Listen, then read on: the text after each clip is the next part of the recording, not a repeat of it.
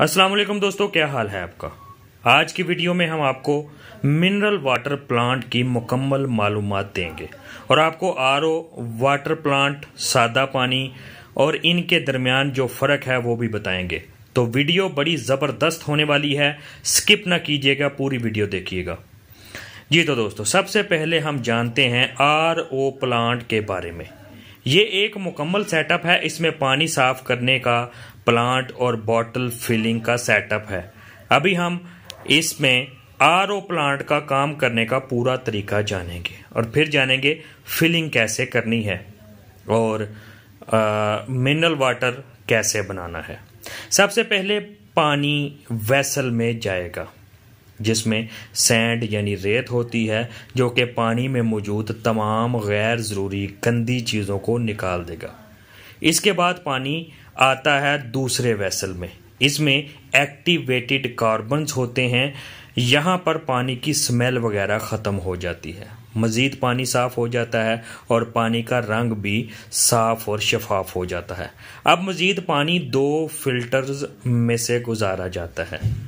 फिर मज़ीद यहाँ पर ये पानी प्योरीफाई हो जाता है। अब आगे एक पंप लगा होता है जो पानी को फुल प्रेशर के साथ दो मेम्ब्रेन्स में से गुजारता है, जो कि आरओ प्लांट का ही हिस्सा है। यहाँ पर पानी का भारीपन ख़त्म हो जाता है और पानी मीठा हो जाता है।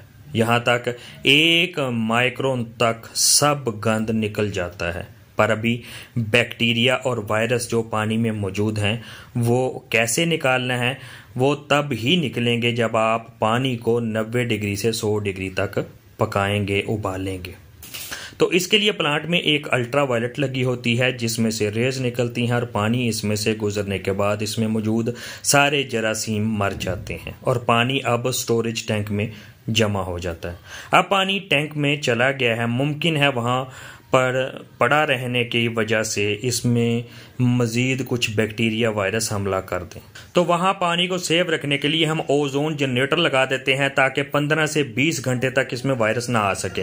अब पानी तैयार है, लेकिन इसमें से अच्छे बुरे सब मिनरल निकल चुके हैं। यानी ये बिल्कुल प्योर वाटर है। अब अगर तो हम इसे जूस बनाने वगैरह में इस्तेमाल करना चाहते हैं तो ये हो जाएगा। और अगर हम इसे पीने के लिए इस्तेमाल करना है, जो कि लोग गली मोहल्लों वगैरह में प्लांट लगाते हैं तो उसमें हम एक ख़ास किस्म के मीटर से इसे पीने के काबल बना लेते हैं। लेकिन अगर इसे कमर्शियल पानी बनाने के, बना के बेचने के लिए इस्तेमाल करना है तो इसमें फिर हम आर्टिफिशियल मिनरल्स डालेंगे। वो कैसे? ऐसे के छोटे छोटे टैंक्स जिनमें मैग्नीशियम पोटाशियम और कैल्शियम वगैरह का महलूल होगा, और एक टैंक में एक ख़ास किस्म का महलूल होता है जो मेम्ब्रेन्स को साफ़ रखता है। वो हम इस बड़े स्टोरेज टैंक के साथ कनेक्ट कर देंगे, जिसके ज़रिए पानी में ये मिनरल शामिल कर दिए जाएँगे। ये आपका मिनरल वाटर तैयार है। अब इस फिलिंग इसे फिलिंग सेटअप पे ले जाएँगे बॉटल्स पैक करके अपनी मर्ज़ी का स्टिकर छपवा के बॉटल पे लगा दें और मार्केट में सप्लाई कर दें। जी तो दोस्तों, आपको हमारा आज का बिज़नेस आइडिया कैसा लगा? उम्मीद है कि पसंद आया होगा।